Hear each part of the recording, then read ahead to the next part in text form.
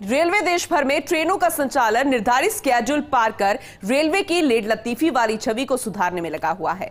उत्तर पश्चिम railway, जो कि राजस्थान के करीब पचानवे फ़ीसदी क्षेत्रफल को समेटे हुए है। उसने अपने क्षेत्राधिकार में संचालित हो रही करीब डेढ़ हज़ार ट्रेनों को राइट टाइम पर संचालित कर लगातार तीसरी बार देश में फ़र्स्ट रैंक हासिल की है।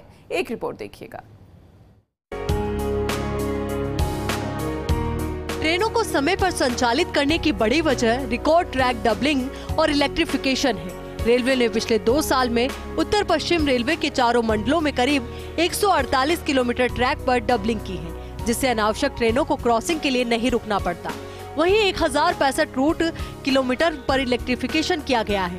वर्तमान में जयपुर सहित चार मंडलों में करीब 150 ट्रेनों का संचालन इलेक्ट्रिक इंजन से होता है। Train operation expert DP Mishra और दर्शन लाल तनेजा ने बताया कि इलेक्ट्रिक इंजनों में डीजल इंजनों की अपेक्षा एक्सीलरेशन और डी एक्सीलरेशन तेज होता है। यानी इलेक्ट्रिक इंजन कम समय में स्पीड पकड़ते हैं। जयपुर, दिल्ली सहित कई रूट्स पर स्पीड रिस्ट्रिक्शन हटा दिए गए हैं।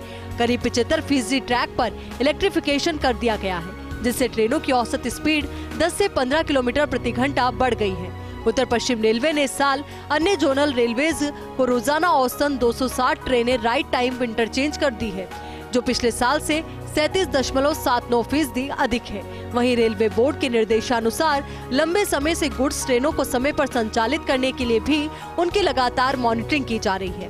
रेलवे ने जयपुर, दिल्ली सहित विभिन्न रूट्स पर 36 से अधिक स्पीड रिस्ट्रिक्शन हटाए हैं वहीं विभिन्न टर्नआउट्स पर ट्रेनों की औसत स्पीड भी 10 से 15 किलोमीटर प्रति घंटे के हिसाब से बढ़ाकर 20 से 30 किलोमीटर प्रति घंटे की है।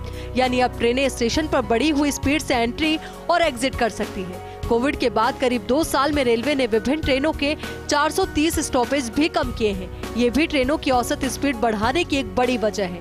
इसके अलावा पिछले पाँच सालों में कई तकनीकी विकास किए गए हैं। प्रदेश के लगभग 80 फ़ीसदी रूट पर एडवांस सिग्नलिंग सिस्टम लगा दिए गए हैं। जयपुर, दिल्ली, अहमदाबाद, मुंबई। जयपुर, जोधपुर, जयपुर, आगरा सहित अन्य रूटों पर सिग्नल फेल नहीं हो रहे हैं, जिसके चलते ट्रेनें अनावश्यक लेट नहीं हो रही है। ट्रेनों को कोहरे में भी सही समय पर संचालित करने के लिए उत्तर भारत के कई रूट्स और उत्तर पश्चिम रेलवे के करीब एक हज़ार पाँच सौ छियासी किलोमीटर रूट पर करीब 436 करोड़ खर्च कर कवच तकनीक विकसित की जा रही है। इस तकनीक में सैटेलाइट द्वारा रेडियो कम्युनिकेशन के माध्यम से लोकोमोटिव और स्टेशन में आपसी समन्वय बनाया जाता है, जिससे लोको पायलट को जहाँ एक और आगे आने वाले सिग्नल्स की स्थिति के बारे में पता चलता है, वहीं दूसरी ओर उसे लाइन पर रुकावट का भी पता चल जाता है। किसी लाइन पर अन्य ट्रेन के आने, खड़ी होने या अन्य तकनीकी रुकावट का पता लगते ही ये तकनीक लोको पायलट को अलर्ट करती है और निश्चित समय अवधि में ट्रेन में ऑटो ब्रेक लगा देती है, जिससे ट्रेन एक्सीडेंट नहीं हो। Kashiram Chaudhary, first India news, Jaipur.